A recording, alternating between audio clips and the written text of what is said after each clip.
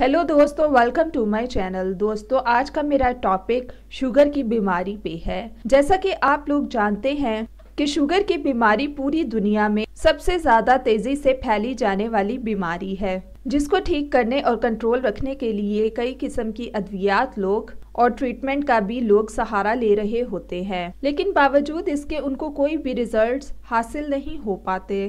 सो so, दोस्तों इसलिए sugar को कंट्रोल रखने के लिए मैं आप लोगों को बहुत ही असरदार मेथड बताऊँगी अपनी आज की इस वीडियो में। तो चलते हैं अपने इंग्रेडिएंट्स की तरफ़। आप लोग प्लीज़ इंग्रेडिएंट्स को नोट डाउन कर लें।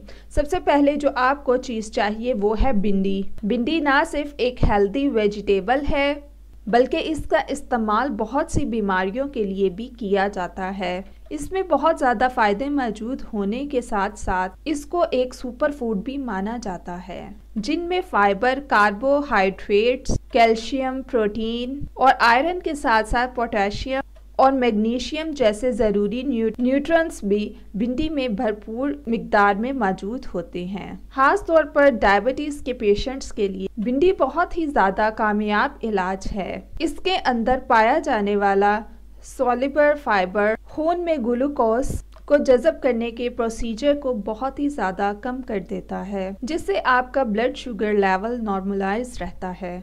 इसके अलावा ये हमारे निज़ाम हाजमा को बेहतर बनाने और कोलेस्ट्रॉल को कम करने में भी बहुत ज़्यादा फ़ायदेमंद है। भिंडी से बनाई गई अगर ड्रिंक को शुगर को कम करने के लिए अगर इस्तेमाल किया जाए तो तो ये सबसे ज़्यादा असरदार रेमेडी के तौर पर भी काम करती है। और सबसे ज़रूरी बात इसको सही तरह से बनाने का तरीका भी आप लोगों को पता होना चाहिए, ताकि इससे कम वक्त में आप लोग बहुत से फ़ायदे उठा सकें। अब मैं आपको इसको बनाने का मेथड बताती हूँ। इसको बनाने के लिए आपने चार से पाँच दरमियाने साइज़ की भिंडियाँ ले लेनी है। अब आपने इनको बहुत ही ज़्यादा अच्छी तरह से धोकर आप लोगों ने इसको साफ़ कर लेना है। अब आपने इसको सेंटर से काट कर इसके दो दो स्लाइस बना लेने हैं। इसके बाद आपने एक जार लेना है, उसमें आपने आधा लीटर पानी डाल लेना है। इसके बाद आपने कटी हुई भिंडियाँ इसमें डालकर उसको 12 घंटे तक भिगो कर रखना है।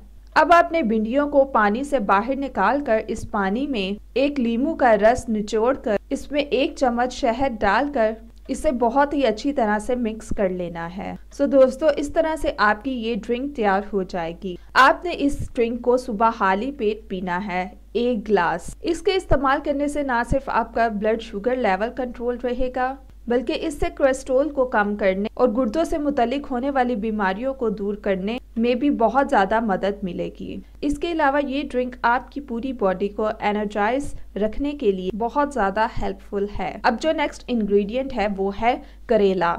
इसको आमतौर पर बिटर मेलन के नाम से भी जाना जाता है। करेले के अंदर ब्लड शुगर लेवल को लोअर करने का इफ़ेक्ट बहुत ज़्यादा पाया जाता है। और ये शुगर को कंट्रोल करने के लिए बहुत ही कामयाब रेमेडीज में से एक है। पेनक्रियाज में से इंसुलिन की सिक्वेशन को बेहतर बनाता है। खास तौर पर टाइप वन और टाइप टू दोनों किस्म की डायबिटीज़ के लिए इससे पूरे पूरे फ़ायदे हासिल किए जाते हैं। इसके लिए आप लोगों को चाहिए कि आप लोग एक से दो करेले का जूस निकाल लें। इसे आधा ग्लास पानी में मिक्स कर कर पी लें और साथ में इसमें एक लीमू का रस भी शामिल कर लें और पीना आपने इसको सुबह हाली पेट ही है।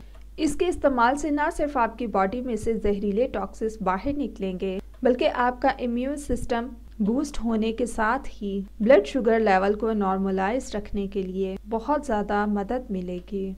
अगर आप इन दोनों रेमेडीज़ में से किसी भी एक रेमेडी का मुसलसल इस्तेमाल करते हैं तो आप लोग बसानी से ही शुगर को कम वक्त में मुकम्मल तौर पर कंट्रोल कर सकते हैं और हाई ब्लड शुगर लेवल से पूरी तरह निजात हासिल कर सकते हैं। इसके अलावा इसे इस्तेमाल करने का सबसे बड़ा बेनिफिट ये है कि यह आपको शुगर से मुतलिक होने वाली बीमारियों से भी महफूज रखते हैं। सो so, दोस्तों ये थी आज की मेरी रेमेडी मेरी इन्फॉर्मेशन मेरी टिप सो मज़ीद वीडियोस के लिए हमारे चैनल को सब्सक्राइब करके जल्दी से बेल आइकन के बटन को प्रेस कर दें ताकि मज़ीद वीडियोस हमारी आप तक जल्द से जल्द पहुंचाई जा सके और आप उससे भरपूर फ़ायदा उठा सकें।